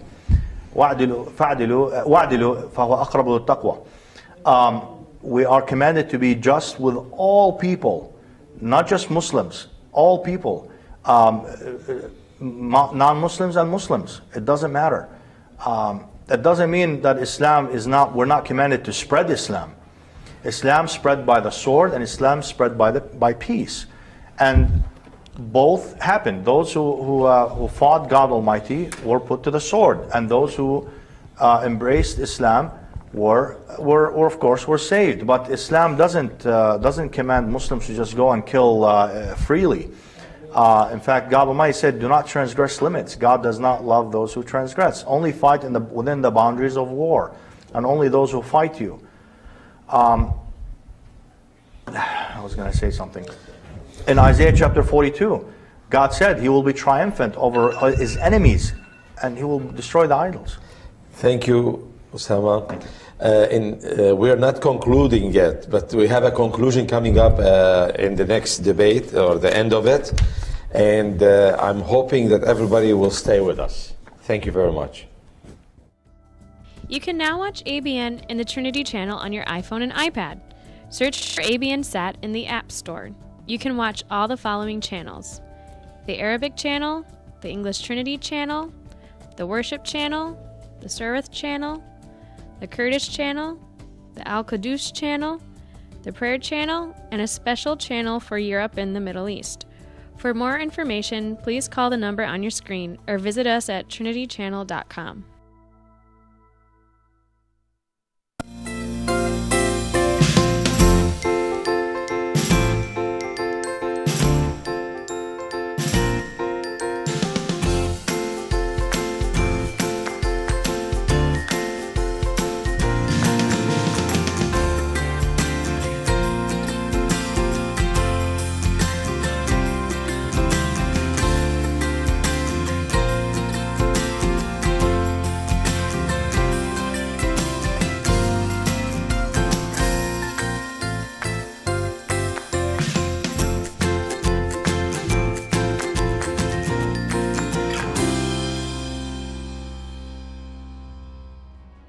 all our viewers, you can now watch our shows on the following platforms, such as Android tablets, Android boxes, Android phones, a Chromecast stick, your smart TV, or a Roku stick. For more information, please call the number on your screen or visit us at trinitychannel.com.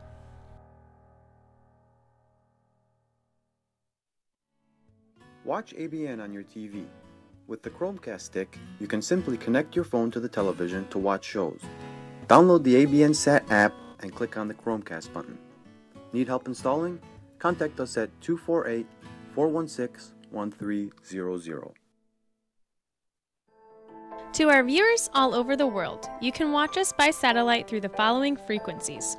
For North America and Canada, please join us on the Galaxy 19 satellite, frequency 11966 horizontal.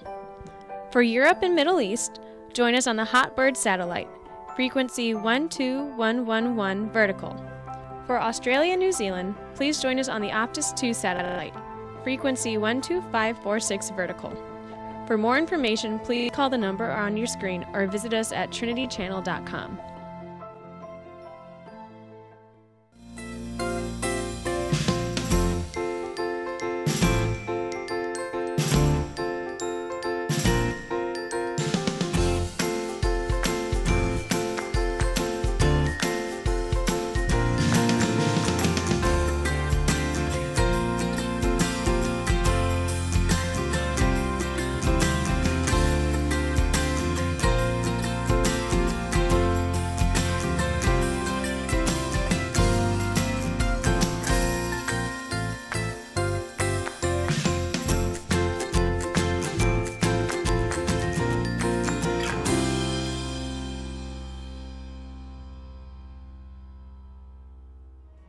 To all our viewers, you can now watch our shows on the following platforms, such as Android tablets, Android boxes, Android phones, a Chromecast stick, your smart TV, or a Roku stick. For more information, please call the number on your screen or visit us at trinitychannel.com.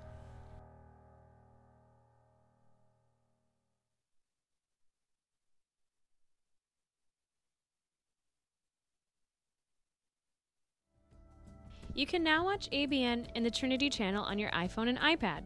Search for ABN Sat in the App Store. You can watch all the following channels the Arabic channel, the English Trinity channel, the Worship channel, the Surith channel, the Kurdish channel, the Al Qudus channel, the Prayer channel, and a special channel for Europe and the Middle East. For more information, please call the number on your screen or visit us at trinitychannel.com. Watch ABN on your TV. With the Chromecast stick, you can simply connect your phone to the television to watch shows. Download the ABN Sat app and click on the Chromecast button. Need help installing?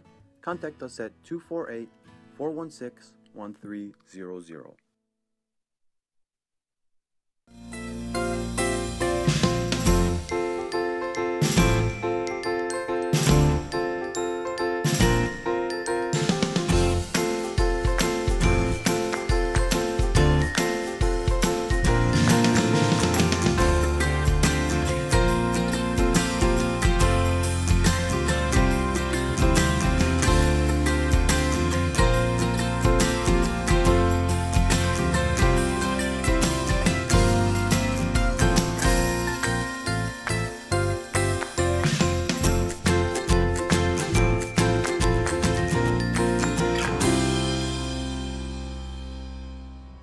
To all our viewers, you can now watch our shows on the following platforms, such as Android tablets, Android boxes, Android phones, a Chromecast stick, your smart TV, or a Roku stick.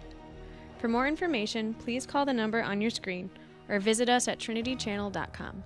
Ladies and gentlemen, we are here for a conclusion of this debate. We thank you, and we would like to hear now. Each person will get seven minutes each, and then at the end, they'll have two minutes.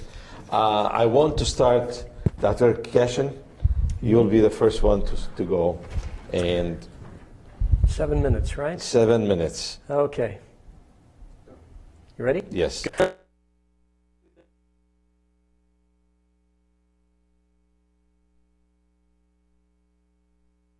Testament. The oldest really goes back to Genesis chapter 3, found in Malachi in the very last chapter. And then we've seen how those prophecies were fulfilled in the New Testament in the person of Jesus Christ. Jesus is the fulfillment of the messianic promise of a Redeemer, Savior who would bring us to God. I want to finish with just a little story and uh, let that be my final word. Many years ago, I was sharing the gospel with Muslim friends in Bangladesh. And one day, a man came into my office and uh, sat down on the floor next to me, looked me squarely in the eye, and he said, What does Matthew 121 say? Well, I don't hear that kind of a question from a Muslim very often, so I said, Why do you want to know? Well, he said, Jesus told me to ask you. What? How, how did Jesus tell you to ask me that? And he went into a story. The previous night was the night of what they call Shobe Borat in uh, Bangladesh. It's the night of fate, the night of power, uh, when people believe that if they pray all night long, uh, God will make their uh, uh, they will give him, them a positive future for the coming year, will de- determine their fate in a positive way. And uh, uh, he said, uh, I was trying to do that, but you know, there's a condition. You can't fall asleep. If you fall asleep, you don't get the barakah, you don't get the blessing. Well, his spirit was willing, but his flesh was weak. And in the middle of the night, he fell asleep. And as he slept, he had a dream. And first, his father came to him. Now, his father uh, was predeceased. He'd been dead for six years, and so this was a very powerful moment. So he got down on his knees and he did the pranam kora. He touched his father's feet, and he asked him the question that was the most important question you could ask. And so he said, Father, Father, tell me the way of salvation.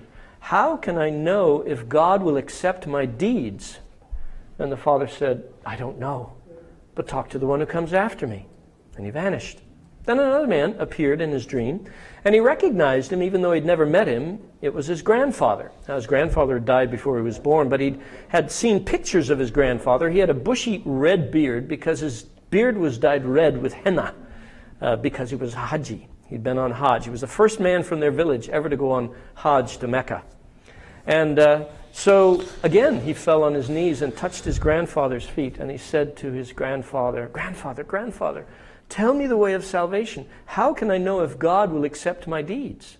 And the grandfather also said, I don't know. But talk to the one who comes after me. And he vanished. Then a third man appeared in his dream, and he knew immediately who he was. It was Hajrat Isa Masih, it was the Lord Jesus Christ.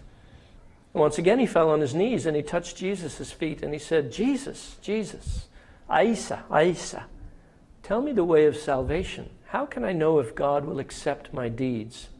And Jesus said to him, I will show you the way of salvation, but first you must go to the missionary in this town and ask him what Matthew 121 says. So he says to me, what does Matthew 121 say? He'd never seen a Bible. He had no idea what Matthew was. But we opened to the passage and I read it for him. And this is what it says. The angel speaking to Joseph says to him, You shall call his name Jesus, for he shall save his people from their sins. And I said, This is the answer to your question. Your works will never get you to God. But God has sent a Savior for you in Jesus Christ. Jesus gave this commandment to us in Matthew 28, verses 16, 18 through 20. Then Jesus came to them and said, All authority in heaven and on earth has been given to me. Therefore, go and make disciples of all nations, baptizing them in the name of the Father and of the Son and of the Holy Spirit, and teaching them to obey everything I have commanded you. And surely I am with you always to the very end of the age. This is the word of Messiah to everyone. To the believer in Messiah, a commission. Tell everyone from every nation about what I've accomplished on the cross. And so when you come to the book of Romans, it very simply tells us how we can be saved. When asking the question, what is the way of salvation? He says a very simple thing. What does the Word of God say? The Word is near to you, it is in your heart and in your mouth. Two minutes. That is the word of faith we are proclaiming. That if you confess with your mouth, Jesus is Lord, and that's a term that means God. If you confess him as Lord and believe in your heart that God raised him from the dead, you will be saved. And in fact, John puts it this way in 1 John He who has the Son has life. He who has not the Son has not life. That's the message of the prophecies of Jesus. God has sent a Savior. He is your Savior if you accept Him. And that invitation is open to every man, woman, and child, every person of every race, of whatever religion or creed, whatever background. Only Jesus can save us from our sins, and He is the way of God's salvation. He is God's chosen one to bring us to God. And my prayer is for you that you would be blessed in this way, that you would experience God, that you would come into relationship with God for which you were made, and that you will spend entire eternity glorifying God and enjoying Him forever. Thank you, Dr. Cashin. Brother Osama, Thank you, brother. Thank you, Dr. Uh, uh, you have Cashin. seven minutes. Sure. Thank you, Dr. Cashin. Uh, and thank you, uh, Brother Jacob. It was a pleasure debating you, Dr. Cashin. And I thank again uh, the ABN Trinity Channel for hosting this debate and for having, uh, having me and having us. It's, it was a pleasure uh, to be here. Uh, in regards to the Lord Jesus being salvation, yes, He is the salvation of the people of His time and those who believe in Him. Every prophet um, was throughout all of Earth, uh, ha, ha, humans have received prophets, and every prophet was the salvation of his people. You know, uh, uh, geologists say that Earth is 4.6 billion years old, and uh, it was very hot at then, uh, back then. And uh, as it cooled down, it took about 800 years, eight, 800 million years, okay, uh, until for for it to cool down to a point where uh, water and you know water and vegetation and lush and all that start to come up uh, uh, to form uh, in it. So um, life as we know it began on Earth around 3.6 roughly billion years ago. It had all kinds of creatures and had probably humans in it, and so th- there are um, many, many, many uh, uh, people that existed before us. And Allah Almighty said in the Holy Quran, uh, people, uh, qurun passed before us, and God ja'alakum uh. Uh, God made us into na- uh, people of, of our age today. So Adam uh, uh, was not the first human. He was our generation's first human, our humanity's first human, but there were other humanities, humans before us. The point I'm making, folks, is that millions upon millions of years, humans had existed, and prophets were sent, and God Almighty, you know, sent salvation, uh, p- people to, send salvation to, to all kinds of people. Every prophet was his people's salvation, and Jesus Christ was no different.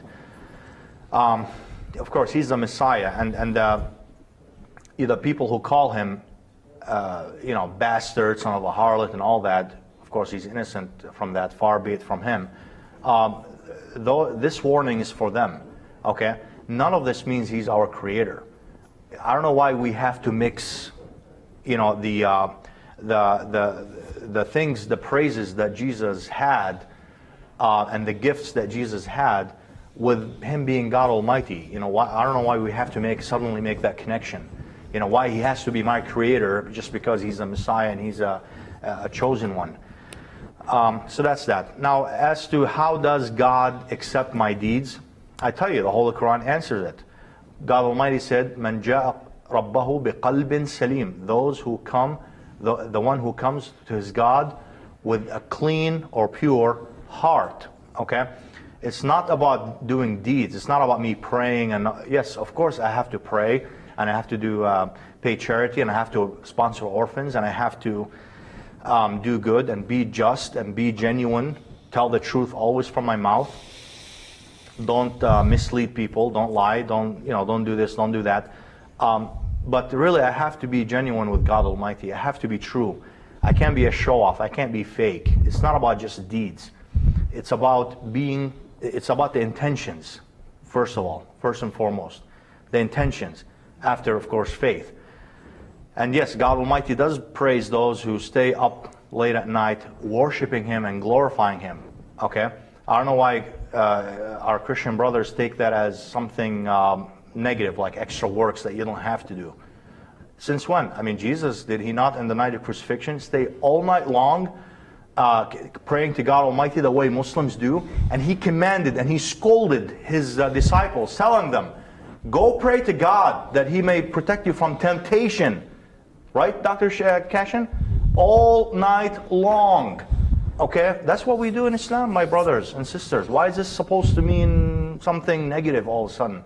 That, yeah, you know, you, you have too much works in Islam. No, you have to serve God Almighty. Of course, with a clean heart. You have to have a clean heart first. But you have to worship God. You have to be a slave of God.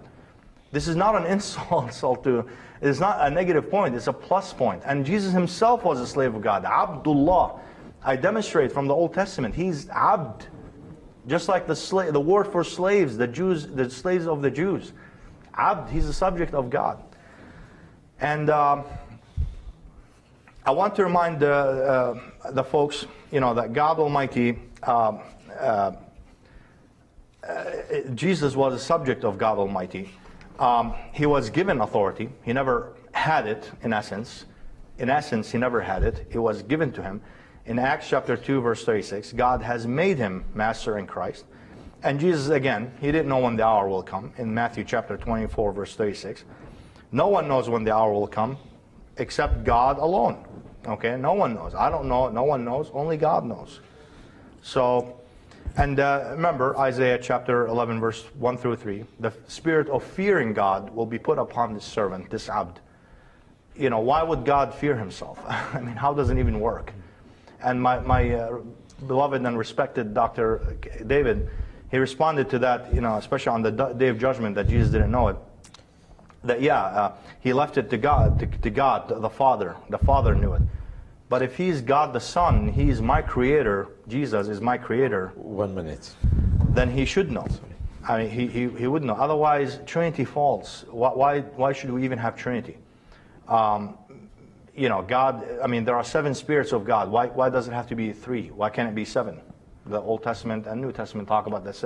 I'm not saying God should be seven. God is one. But I'm just saying, I mean, why, why this Trinity? You know, why can it be something else? Like, God is one, and everyone else is a subject. Even the mightiest of the beings out there, like Jesus and Melchizedek and Gabriel and others.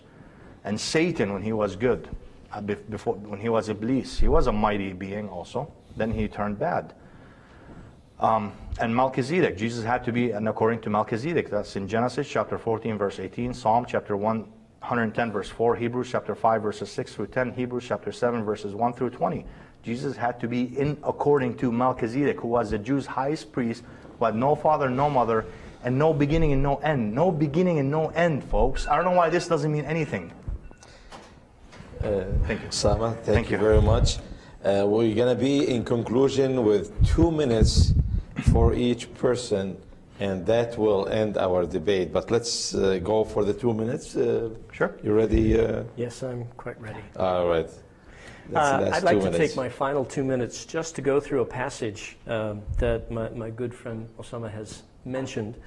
Uh, the passage in Colossians chapter 1, which uh, I'd like you to listen to as I read through it and recognize that this is a description of Christ. And you will hear intimations to the Trinity, to other persons in the Godhead, but then the focus comes down to who is Jesus. And it's not flipping back and forth between God the Father and Jesus, God the Father and Jesus, but it's from the latter part of the text, it's Jesus, Jesus, Jesus, Jesus. This is who he is. Listen. For he has rescued us from the dominion of darkness and brought us into the kingdom of the Son he loves. That's God doing something through Jesus. In whom we have redemption, the forgiveness of sins. That's who Jesus is. And then he goes on to describe who this Redeemer is. He is the image of the invisible God, the firstborn over all creation. For by him all things were created, kalimatullah, things in heaven and on earth, visible and invisible, whether thrones or powers or rulers or authorities, all things were created One by him and for him. Well, this is clearly the Christ of glory, who is Lord of the universe. He is before all things, and in him all things hold together. A human being doesn't hold the universe together. Only Christ does that. And he is the head of the body, the church. He is the beginning and the firstborn from among the dead, so that in everything he might have the supremacy.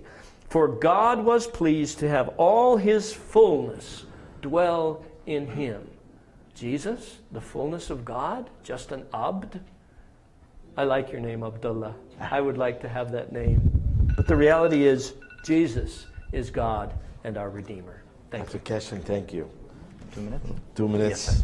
Colossians chapter 1 verses verses 15 through 16. He is the image of the invisible God. I showed you before the image of God in, in the Bible uh, means carrying the good attributes of God like mercy, uh, compassion, all these things, forgiveness. Uh, he is the image of the invisible God, the firstborn born over all creation.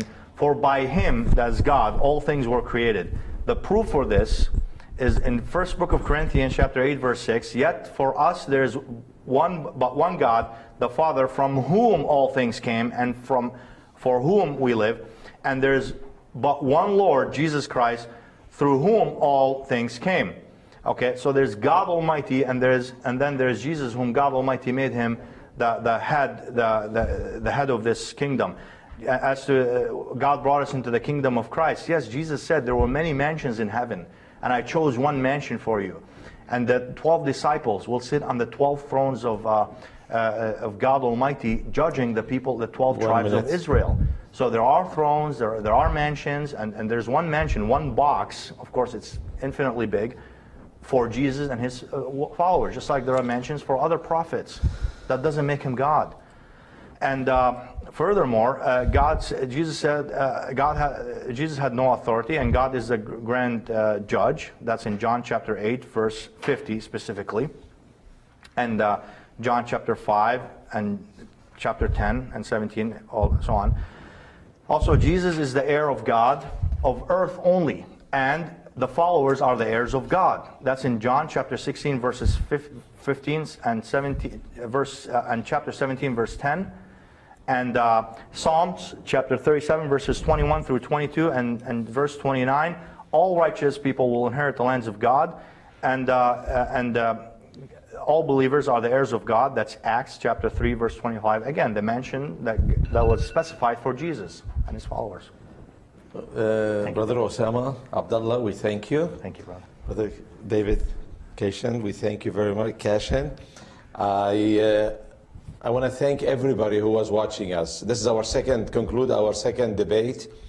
And I want to ask you again, uh, the ABN in need at these times, I know it's a giving times, and we thank you very much for being with us, and I hope you are blessed. Thank you very much.